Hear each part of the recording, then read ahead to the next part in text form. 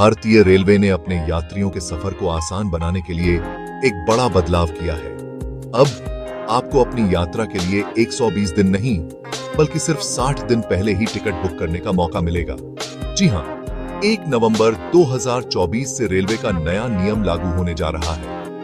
Rail मंत्रालय के नए नोटिफिकेशन के अनुसार, अब एडवांस बुकिंग का समय 120 दिन से घटाकर 60 दिन कर दिया गया है। इसका मतलब आपकी यात्रा की तारीख से 60 दिन पहले ही टिकट बुक कर सकेंगे। कुछ यात्रियों का कहना है कि इससे टिकट बुकिंग की मारामारी बढ़ेगी और कंफर्म टिकट पाना मुश्किल हो सकता है। वहीं रेलवे अधिकारियों का मानना है कि यह कदम टिकट कैंसिलेशन को कम करने और फेस्टिवल के दौरान स्पेशल ट्रेनें शेड्यूल करने में मदद करेगा।